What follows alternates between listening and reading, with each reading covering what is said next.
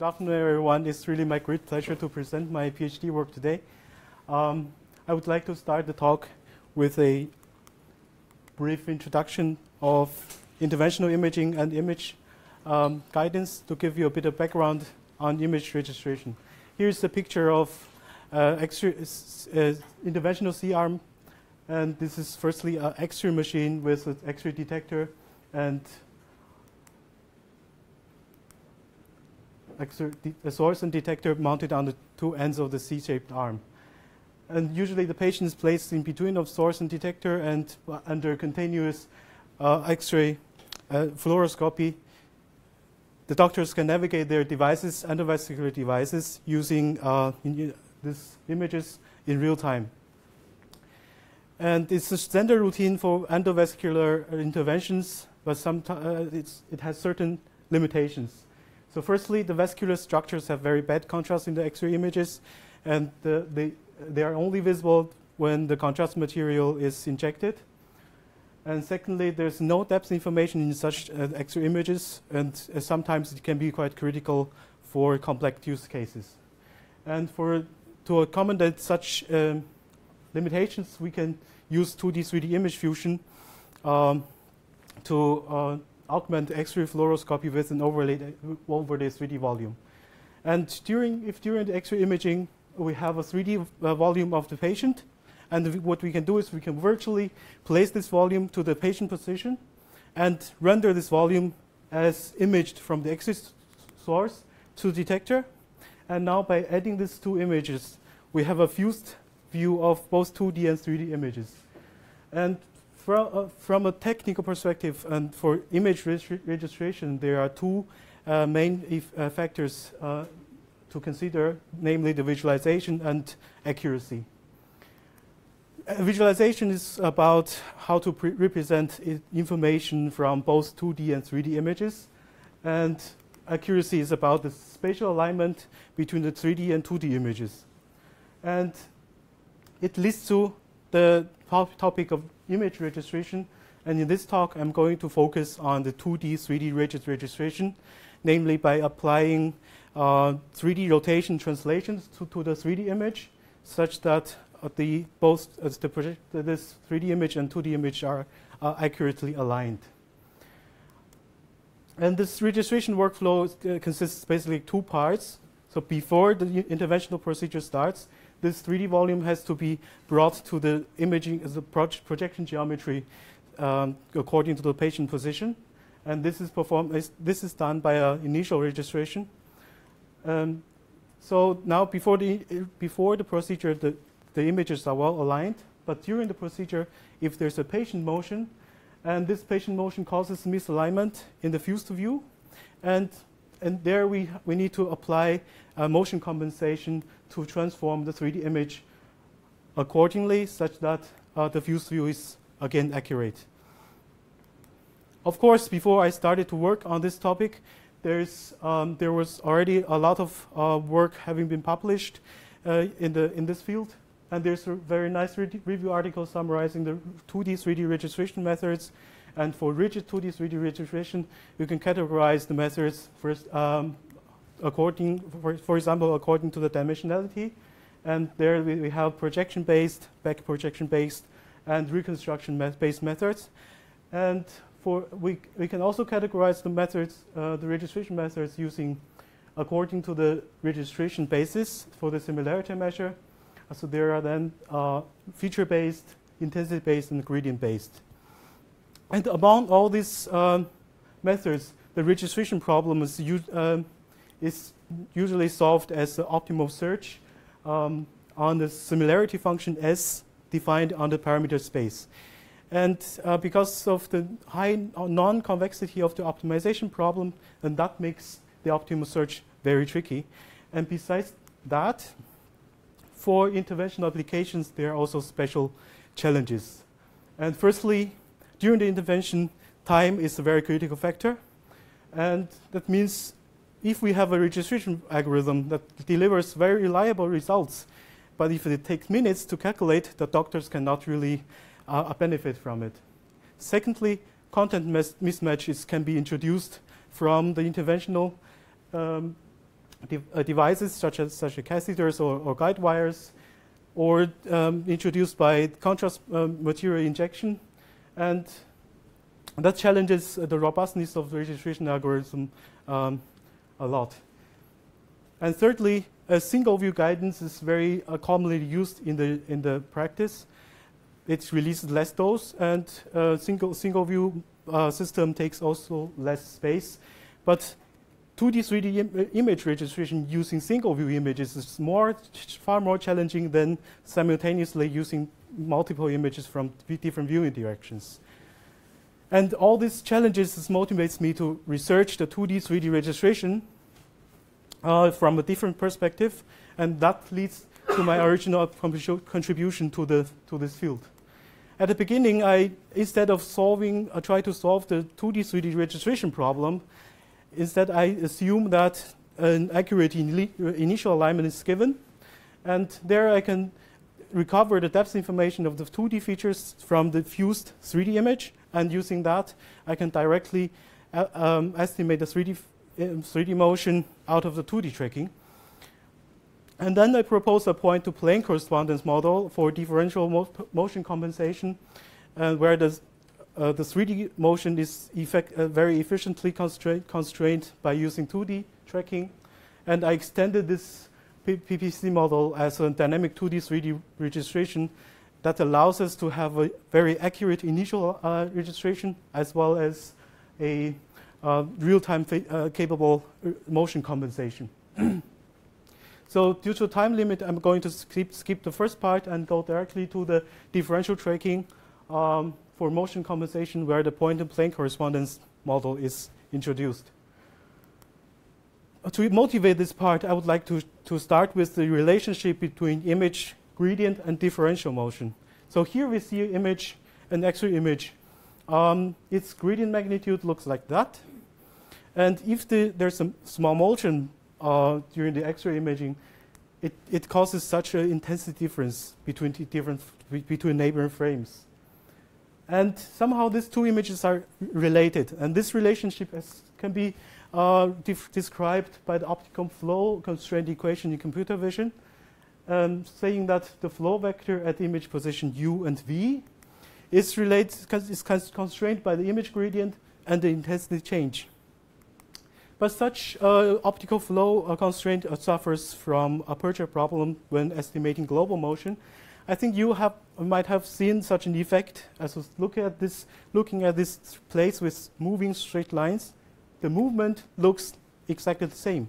But if now we uncover a bit more structures and we see we can uh, directly identify the difference of uh, among the mo movements. That that tells us that observation sometimes doesn't uh, is not a real motion, and this is actually exactly what the, cons the constraint equation does. So it tells us the, the intensity difference. This is our observation. This is the observation along the image gradient. And of course, if we want to know the real motion, we of course we have to consider the unobservable motion that is perpendicular to the image gradient. And this is only a 2D case, and uh, I will follow this exactly this principle to introduce you the point-to-plane correspondence model that solves the 3D motion estimation of the 2D. To begin with the PPC uh, model, I would like to start with the C-arm projection geometry. So the C-arm system can be modeled as a pinhole camera like this, and its principal ray direction is perpendicular to the de detector plane. And now if we place the 3D patient, uh, now the 3D patient, if we place the patient in the C-arm projection geometry, we can say that a 3D point W is projected or images at as a 2D, x, uh, 2D point X. And to give you a better understanding of 2D 3D relationship, I back project the scene image plane as a plane in 3D space. And this plane has a normalized distance to the camera origin. And th this plane is also perpendicular to the principal ray direction. And now we have the 3D point and this uh, normalized, uh, I call this plane as normalized projection plane. And we have the 3D point and this normalized, normalized projection point P, both in 3D space. And now I simplify this uh, 3D uh, sketch using this 3D uh, only a simple 3D shape, shape and its um, normalized projection. Now we have a 3D point W. It's lying on the surface of the, uh, of the shape, and it has its uh, normal or saying the 3D gradient perpendicular to the viewing direction. And such points, we call it as apparent contour points because they're usually imaged as an edge or contour in the 2D X-ray image. And if now the 3D, 3D object moves or the patient moves, and it, the motion is actually caused by a 3D uh, rigid motion including both rotation and translation. And this global motion is locally observed as a kind of translation at locally at W as dw, and this moves the, the 3D point to W prime. And on the projection image plane, we see also this motion. Um, dp moves the pro projection P to P prime. So most intuitively, we will say that the P prime is still the projection of W prime. So if this is true, then we can solve this motion estimation problem as a standard perspective n-point problem in the computer vision but note that here we have an edge. And the local 3D motion is actually only an observation that is along the image gradient, or saying perpendicular to the, to the edge. And this is not a real motion. That's why this projection relationship is not valid anymore. And then we have to uh, think about how the, the, motion constraint, including the unobservable, unobservable directions. And now I formulate a, uh, the first unobservable, unobservable direction as the, the product, product, uh, cross product of the 3D vector W and the 3D gradient G. And that this cross product give us a three, give us give us a vector that is perpendicular to this 3D gradient. And if we look at this vector on the normalized projection plane, it's exactly the, the vector that is along the edge. That means any uh, motion that is along this edge will be uh, along this direction will be projected uh, along the edge, and we cannot observe it. And the second uh, unobservable direction is uh, I define as p prime. This is a viewing direction after apply the observation on p prime, and it means that this is, uh, viewing is along the viewing ray. If we see here on the projection plane is exactly a vector pointing out of the image and um, in depth. That means any motion in depth can also not be observed. And now under this consideration, we can make build a linear span of these two directions. And this linear span gives us a 3D plane. And uh, this plane is, uh, has its normal defined by a cross product of these two unobserv unobservable motions. And per definition, it, there's also dp, uh, so it means uh, the plane incorporates both the 2D observation as well as the 3D unobservable motion. And instead of say, uh, instead exactly saying where the w prime is lying, we can only constrain that the point is on the plane. And this gives us a point on plane equation.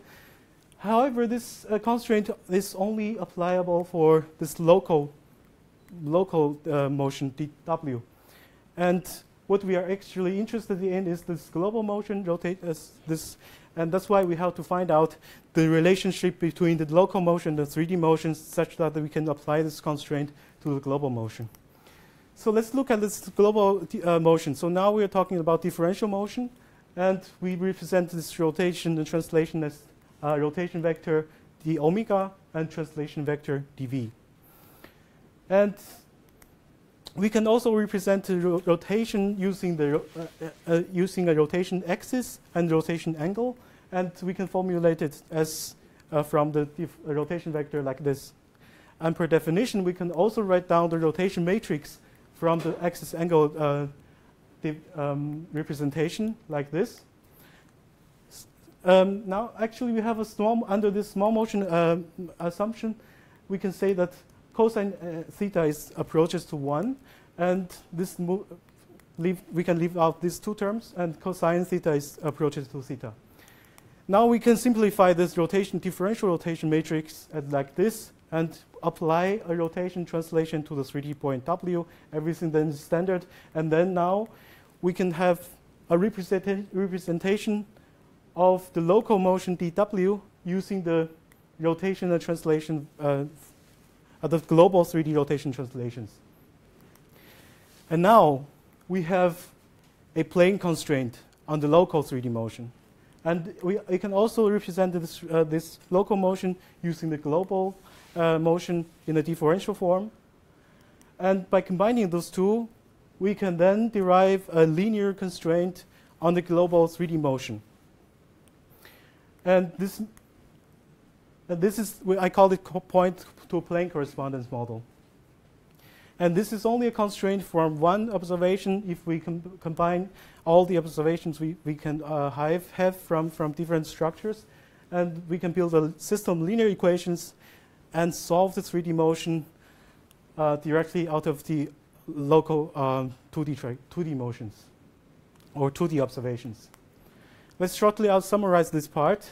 Um, I propose this, I introduce you here the point to plane correspondence model. It focuses on apparent contours and edges, and uh, it takes the 2D observation as input. And it also incorporates the 3D unobservable motion, and then by doing that, it gives us a plane constraint on the local motion, and under small motion constraint, we can uh, derive a linear constraint directly to the, to the global 3D motion. And by combining all the 2D observations, then we can have a direct computation of the 3D motion out of it. And this uh, PPC model is actually uh, de uh, derived for patient motion compensation. I extended also to the uh, registration framework.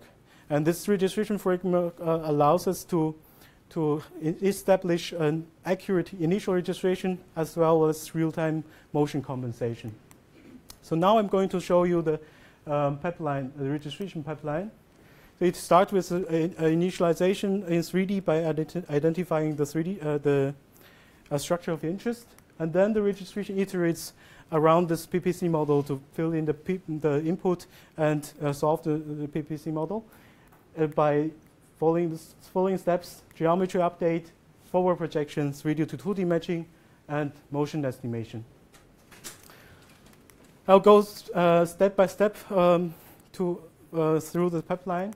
Um, in the initialization step, the structure of interest is identified. So basically saying what we are going trying to align. And those should be the structures that are firstly rigid and have enough contrast in both 2D and 3D images. For example, bone structures um, is suited for this purpose. And then the surface points of the, uh, the, the, stru uh, the, structure of interest is extracted, and later we use them as a candidate of apparent contour points. After the initialization, the registration starts with uh, to iterate um, to beginning with the geometry update. And this is about transforming the 3D um, to according to the projection geometry. It can either be a rough uh, alignment or a registration update from the last uh, previous iterations. And by doing that, we can transform the, uh, the apparent contour points in 3D and their 3D gradient accordingly such that we can get an um, input for the PPC model. And after that, we can forward project these 3D points, uh, the contour points in the uh, projection plane, and also get uh, this normalized projection P for the PPC model. And then uh, we also pro project the volume gradient onto the, on this looks like this, the, um, onto the projection image, and to uh, minimize the structure overlap overlapped into from different depths. So what I did is to uh, independently uh, project the gradient from for different depth intervals.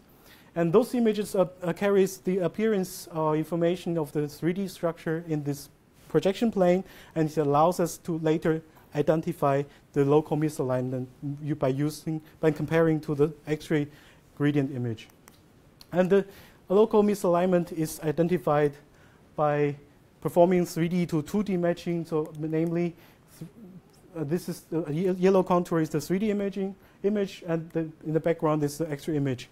And the patch matching is perf um, performed only along the perpendicular direction of the contour, or saying it's along the gradient uh, the, the, image gradient.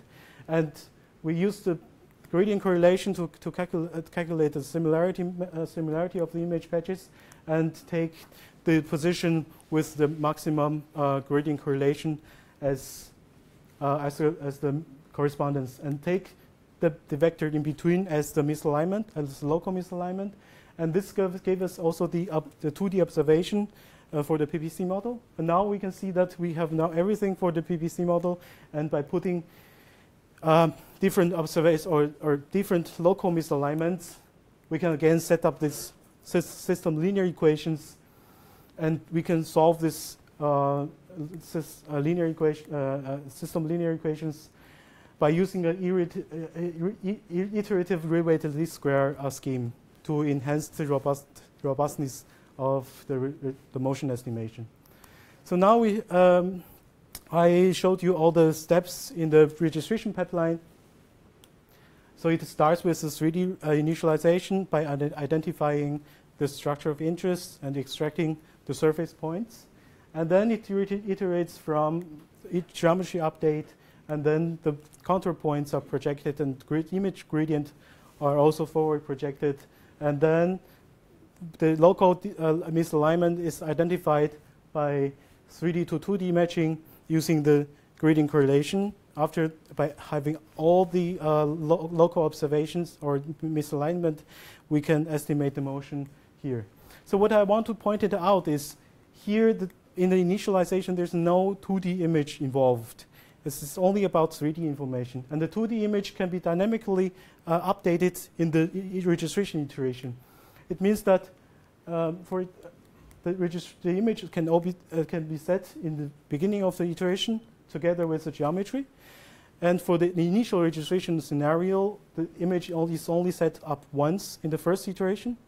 And for the dynamic registration scenario, the image, the latest acquired 2D image is always updated in the registration iteration, so, so that we can achieve a dynamic uh, registration.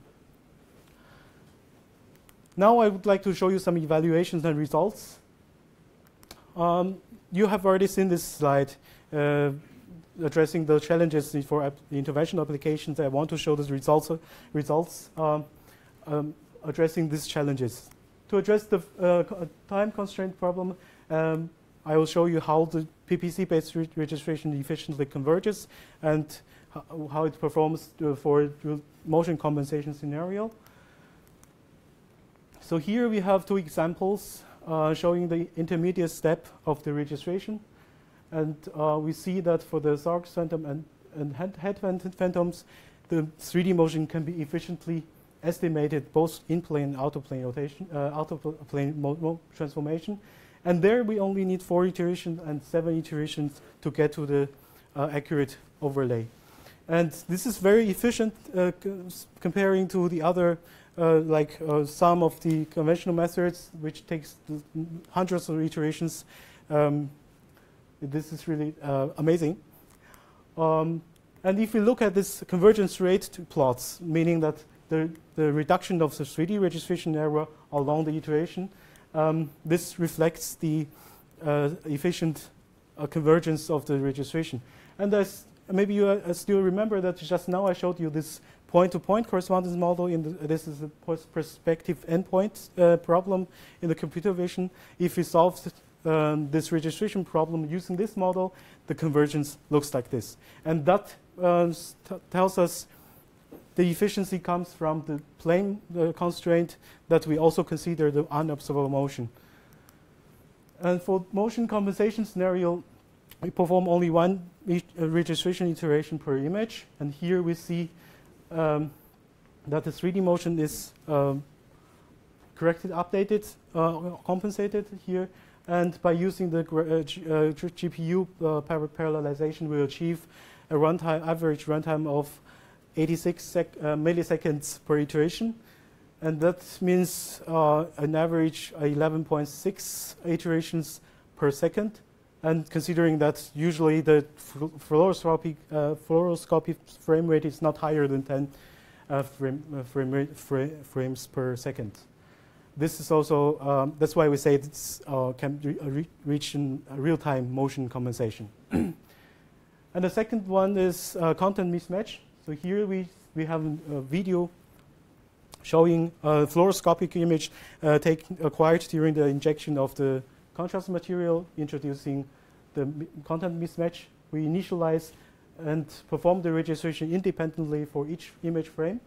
And then, um, because there's no patient motion, we can see that the results is very um, is the same for all the frames. And the next example, I take an, a public uh, cerebral angiogram dataset. So there, the 3D volume is a, a digital subtraction angiography, uh, and shortened as SDSA, and there's uh, only the contrast vessel, vessel tree is contained. And in the 2D image, there's a it's normal X-ray with the contrast material and has vessel and bones. And this bone structure introduces contrast, uh, a content mismatch. And I take a baseline. This, this is a hybrid method using both feature-based and gradient-based uh, based methods. And we can see that the PPC-based registration significantly improves the success rate of the uh, registration from both AP and lateral views here. And uh, about single view, guide, single, single view guidance, before I show, show you the last evaluation, I just want to say that all the evaluation you have seen is based on single view. And the last one is about on the synthetic data. And the good thing about using synthetic data is that we know exactly the ground truth, and we can assess the accuracy in an um, ideal condition.